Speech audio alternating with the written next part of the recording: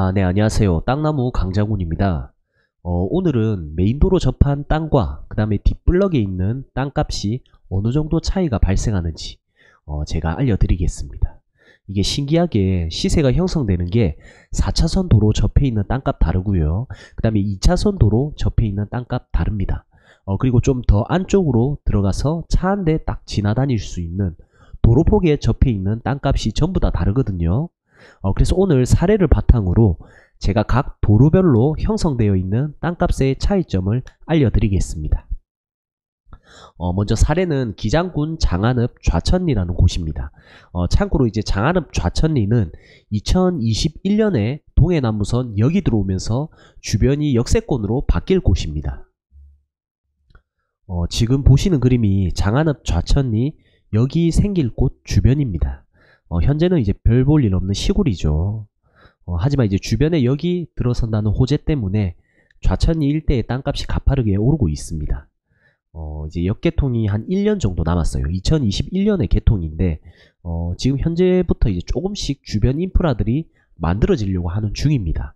어, 그럼 여기서 역세권 주변으로 해서 메인도로변 땅값이 얼마 정도로 형성되어 있고 그리고 그 메인도로 중에서도 4차선 도로, 2차선 도로 접해 있는 땅값 다르고요.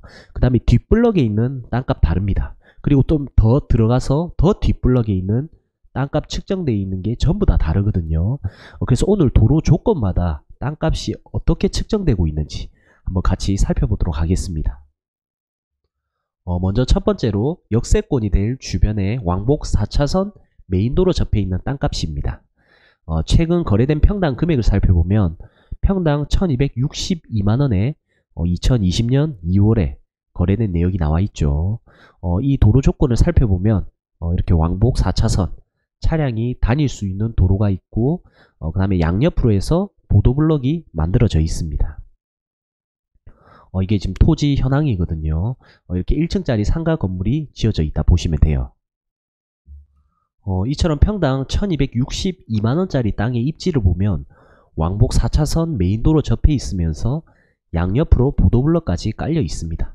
어, 이 보도블럭 깔려 있다는 게 상당히 의미가 있거든요. 나중에 이제 상권이 활성화되면 사람들이 많이 지나다닐 곳이라 보시면 돼요. 어, 그리고 이제 1층짜리 상가 건물도 지어져 있고 월세도 받고 있습니다. 아무래도 이런 4차선 메인도로에 주택이 지어지게 되면 어, 뭐 차량 매연이나 공기도 굉장히 안 좋고 시끄럽겠죠. 어, 그래서 메인도로에는 주거용으로는 굉장히 안 좋게 평가됩니다.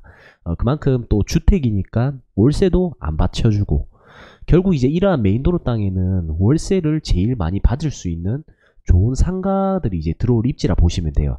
그래서 이제 땅값 자체도 좌천리라는 마을 내에서 제일 비싸게 거래되고 있는 어, 왕복 4차선 메인도로 조건의 땅이라 보시면 됩니다. 어, 다음은 왕복 2차선 메인도로 접해 있는 땅입니다. 어, 2차선 도로 접해 있는 땅은 4차선 도로 접해 있는 땅 대비해서 평당 가격이 조금 저렴하게 거래된 걸 볼 수 있습니다. 어, 최근 거래된 걸 살펴보면 평당 915만원에 거래가 되었거든요. 어, 그래서 아까와는 다르게 2차선 도로 접해 있고 보도블록도 어, 일부 깔려 있습니다. 현황을 보면 현재 분식집 운영하고 있고 옆에 주차장까지 이렇게 포함이거든요. 어, 그래서 이제 현재는 유동인구가 거의 없습니다. 시골이기 때문에. 어, 이제 나중에 여기 생기고 도보 상권이 형성이 된다고 하면 제일 좋은 도로 조건이 여기 왕복 2차선 메인도로라 보시면 돼요. 어, 그래서 이제 현재 좌천에 2차선 메인도로 접해 있는 땅 평당 금액은 한 900에서 1000만원 이렇게 거래가 되고 있고요. 아까 이제 4차선 접해 있는 땅보다는 평당 금액이 조금 저렴하게 거래가 이루어지고 있습니다. 어, 다음은 메인도로 한 블럭 뒤의 땅입니다. 어, 보통 이제 뒷블럭 땅이라고 이렇게 많이 부르죠. 그래서 보시면 뒷블럭 땅은 평당 705만원에 최근 거래가 되었습니다. 조금 확대해서 살펴보면 이게 메인도로변이고요. 어, 땅이 이제 한 블럭 뒤편에 어, 여기 있거든요. 그래서 평당 705만원짜리 땅에 접해 있는 도로 조건을 살펴보면 어, 이렇게 딱 차 한 대 들어갈 수 있는 도로 폭입니다. 어, 이게 이제 토지 현황이거든요. 어, 살펴보면 이렇게 딱 코너 자리죠. 아무래도 뒷블럭이라고 해도 가격이 조금 받쳐주는 이유가 어, 이렇게 코너 자리라서 그럴 수도 있고 아니면 이제 월세가 너무 잘 나와서 그럴 수도 있습니다. 아무튼 이제 도로 조건이 차 한 대 들어가는 조건에 접해 있는 땅값이 평당 700만원 수준이라 보시면 되고요. 어, 다음은 조금 더 안쪽에 있는 땅입니다. 어, 이게 평당 595만원에 거래된 내역을 볼 수 있거든요. 그래서 595만원짜리 땅 도로 조건을 보면 어, 동일하게 차 한 대 들어갈 수 있는 폭입니다.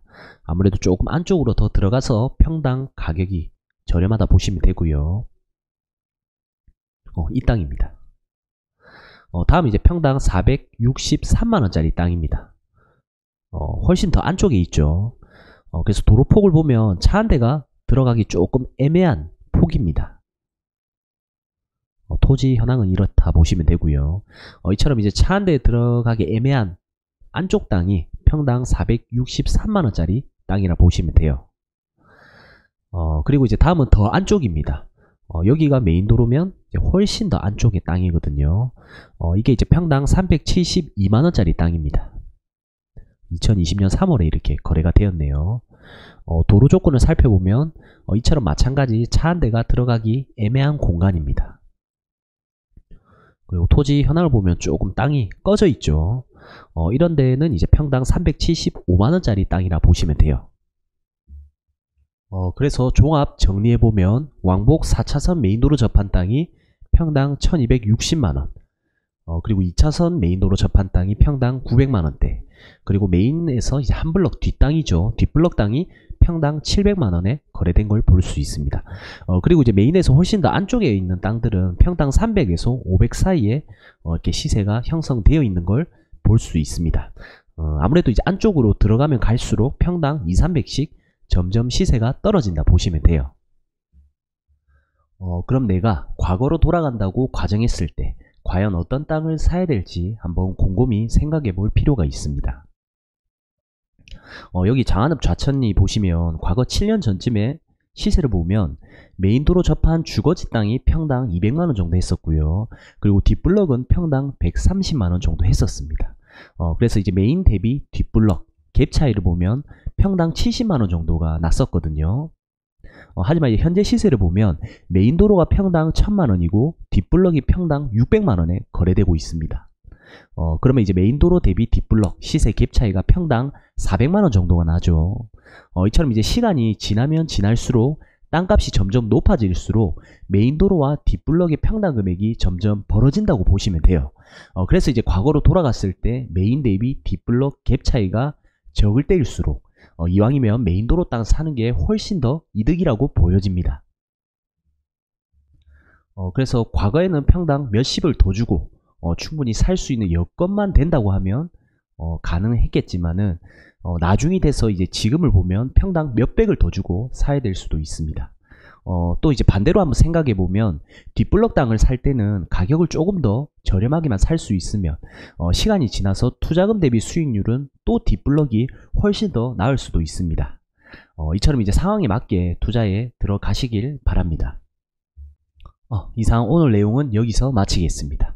어, 오늘 내용을 잘 기록해서 토지 투자하실 때 조금이나마 도움 되셨으면 하는 바람입니다. 어, 내용이 좋았다면 구독과 좋아요 눌러주시고요. 이상 땅나무 강장군이었습니다. 감사합니다.